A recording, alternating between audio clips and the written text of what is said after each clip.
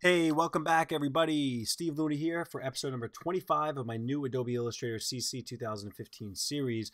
And in this tutorial, I'm going to be going over gradients, which many of you have uh, known probably for a while. Uh, but gradients are those cool things where one color fades into another color. You can use them as wacky backgrounds or stuff in your icons, or you can make gradients actually look very subtle and professional and use them in a lot of your graphic design layouts, which is like what I do. For instance, if you see on the bottom of this right here, this is a gradient going from a, a, light orange to a darker version of that orange. So it's a nice soft feel that flows into there. Also back here, we have a gradient, all right, from right here, going from orange to nothing. So in here, obviously, are the wacky gradients, but I'm going to show you both. And first thing we're going to do is we're going to come in, why not, make a star and follow the whole tutorial. Hold shift while you make the star. All right. And okay, so right now I have a gradient popping in there. I just want to put black ink for there right now. Now what you can do is you can come into your swatches, all right? In a lot of cases, you're going to have gradients that are that are, are already set by Illustrator um, that you can mess around with and change around to your liking, okay? Or again, we're going to come back to black. We're going to make our own gradient. Now, what you can do is you can pull out the gradient tab right here or window gradient. And right now we're going to start with, well, generally gradients are in black and white. So let's see, white and black. When you come over to your tool, it's just going to look like that. All right, so basically what it's telling you is you have white going to black. And in your gradient, again, you see white going to black. Now I'm, I'm going to take this out so I don't keep going all the way over there. And I want to show you that, yes, if we move the white, if you see what happens on our little thing right here, the same thing's going to happen there. Same thing with the black, all right? Mess around with this little slider on the top. You can also click down here. You can double click and add a change of color, or if we back up, we can drag color either onto it or into one of the little things that's already there. All right, we can also click one and we can delete it. All right, we can also take one and we can go into the opacity and we can make the opacity of the blue zero. So for instance, this is where you'll really see it. If you make a, if we make a rectangle and say it's black, okay? Lock that, we're gonna put this on top, all right? Now what I wanna do is I want to take this blue out here. You can actually also click and just drag down and it'll drag it out.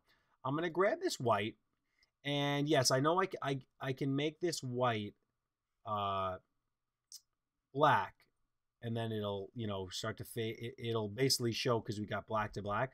But what I want to do is I want to click on this and I'm going to come into my gradient right here. All right, I'm going to pull that out. I'm going to click the white. I'm going to take the white to zero. Make the black.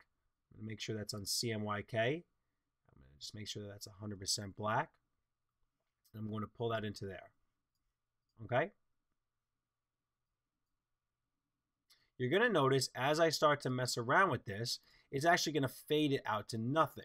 Now, this is what I do in a lot of my designs where I use the opacity to fade a color out to nothing and you know, like a nice background or even like, um, you know, I do it on a lot of websites, kind of like what we're doing here, just to make something almost look three-dimensional. All right? So what we're now going to do is we're going to delete this box in the back and we're going to pull out a couple colors. We're going to pull out a blue, throw that white away. We're going to pull out a green. All right. Going to make sure that opacity is back to 100. And We're going to throw that black out. What's really cool is you can also take a linear gradient and change it into a radial gradient. Obviously, the green and the blue don't match. So what I'd like to show you is I'm going to take a new green and pull it into here. I'm going to take that same green and pull it into here, but I'm going to raise the black on this green. All right. I can even go back to linear. And this is what I do when I'm working in my programs where, you know, I want a green or a color to go to a darker version because it's a very clean gradient. You know, when I did that blue and that green before, you know, they don't work very well like that. So um, if you come into the gradient area or hit G on your keyboard, you're going to notice that we now have our same slider that's here on the object. So we really don't need this at this moment to be in our face. We can now mess around in real time and you can see exactly what's going on. Um, you can even rotate this, all right, on an angle if you want. Again, we got to open this up. What did I do here? All right, pull this back in. All right, cool. So, okay, so in real time, you can mess around with your gradients. You can also add colors to them. Oh, excuse me, you'd have to actually add the color to here, and then it would pop up on the scale, and you can mess around with it uh, just like so.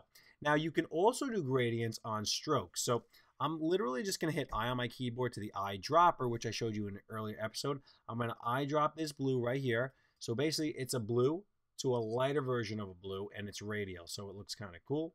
We can make that radial in the middle a little bit smaller. Pull that up so you see more of a circle in there. Don't want too hard of an edge and then it looks silly. All right. So what we can now do is we can hit X to get to our gradient, as I showed you in a fill and stroke earlier ep uh, earlier episode in the series. We are now going to come to the stroke and we're going to click any gradient. All right. We're going to make the stroke larger so we can actually see what we're working with. And what's cool is in the stroke options under gradient, you're going to notice you can apply the gradient within stroke, along, or across. All right, so now you're going to mess around. I actually like the way this looks pretty cool. All right, so we're going to actually take a darker blue instead of a black. pull that gray out of the middle. I'm going to pull that white up to see what kind of cool effect we have going on here. All right, not bad, right? And as you move a point, it's going to pull the same properties with it. So that's gradients. I hope you uh, got something out of this. Again, you definitely want to use subtle gradients like I did with the green to the darker version of it by just adding a little bit of black in the color um, on your designs. You know, I used to I used to do everything with gradients because I thought it was so cool and crazy looking, and then it just really looked like you know very amateurish.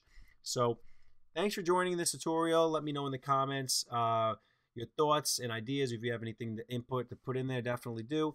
Please share these videos out. A lot of work goes into them. And subscribe to my channel, Graphic Designer Tips, youtube.com. All right, everybody, I will see you for the next tutorial. Have a great night. Peace.